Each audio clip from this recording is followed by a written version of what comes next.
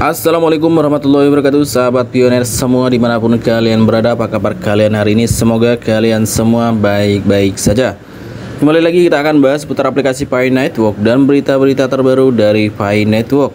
Dan kita ingatkan juga kepada teman-teman pioner Yang hari ini belum klik petir Silahkan segera dibuka akun Pi Networknya Kemudian kalian klik petirnya seperti biasa di sini kita akan update berita terbaru dari Pi Network ya. Dan tanpa berlama-lama kita langsung aja gas. Oke, di sini ada informasi terbaru ya teman-teman. Open Mainnet ekosistem Pi Network berkepanjangan. Begini tanggapan pendirinya. Jika kita berbicara tentang lama dan berkepanjangan, ini tidak bisa ditanyakan lagi ya teman-teman ya. Kita sudah menjalani ini mungkin lima tahun ya. Bagi penambang lama mungkin sudah lima tahun. Bagi yang penambang-penambang baru mungkin ada yang baru satu tahun dua tahun ya. Jadi kalau kita berbicara lama dan berkepanjangan wah. Oke di sini kita langsung aja ya.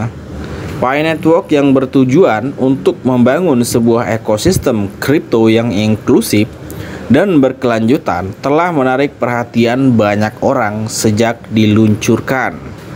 Namun, banyak yang bertanya-tanya mengapa perjalanan membangun ekosistem Pi Network memakan waktu yang begitu lama.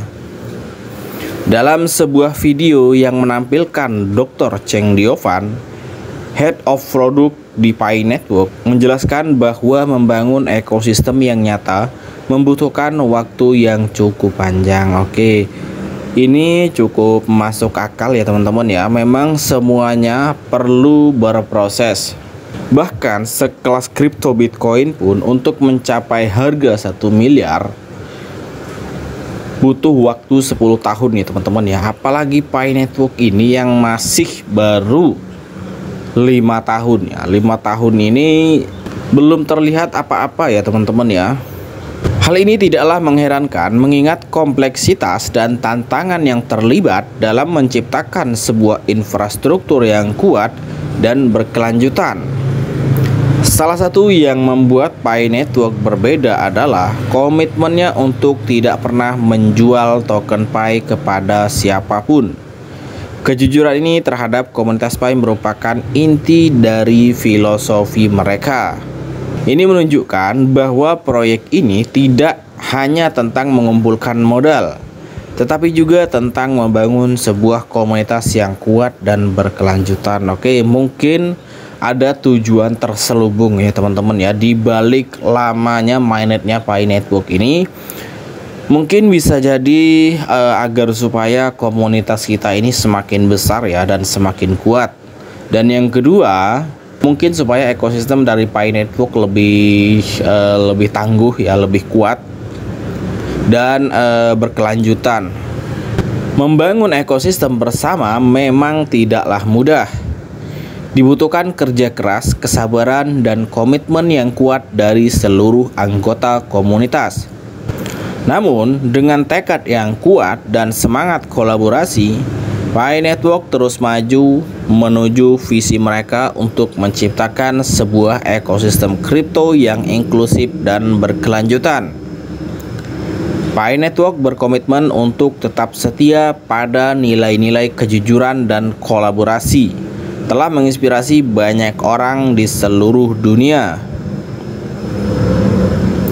saat ini jumlah pengguna Pi Network telah menembus angka 55 juta dari seluruh dunia. Nah, ini ya teman-teman ya.